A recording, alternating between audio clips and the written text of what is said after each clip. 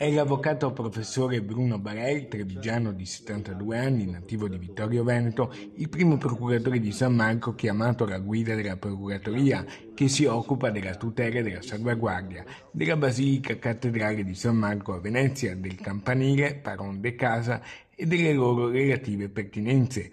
Lo ha scelto all'unanimità il nuovo Consiglio della Procuratoria, formato da sette componenti, all'insediamento ufficiale dell'organismo che opererà in stretta sinergia con il proto della Basilica, architetto Mario Piana, è giunto anche l'apprezzato saluto e l'augurio di buon lavoro da parte del Patriarca di Venezia, Monsignor Francesco Moraglia, che ha rivolto poi anche sentite parole di ringraziamento ai procuratori uscenti Carlo Roberto Tesserin per tre mandati primo procuratore, professor Amerigo Restucci e architetto Marco Zordan.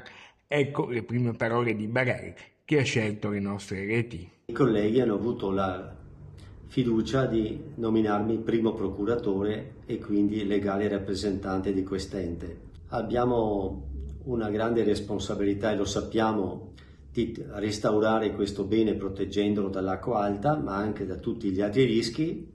Accogliamo ogni anno più di 3 milioni di visitatori alla Basilica e al Campanile e dobbiamo quindi garantire la sicurezza sia delle persone sia della Basilica. Mi rendo conto che tuteliamo un bene dell'umanità e che è anche un riferimento altissimo della cristianità nel mondo. La nomina del nuovo Consiglio di durata triennale è del Ministero dell'Interno d'intesa con il Patriarca. Gli altri sei consiglieri sono il Presidente del CNEL e di Venezia per la Sostenibilità Renato Brunetta, il notaio Paolo Chiaruttini, l'architetto Alberto Torsello, Monsignor Angelo Pagan, braccio destro del Patriarca Francesco, il dottor Renato Poretti e la dottoressa Chiara Boldrin.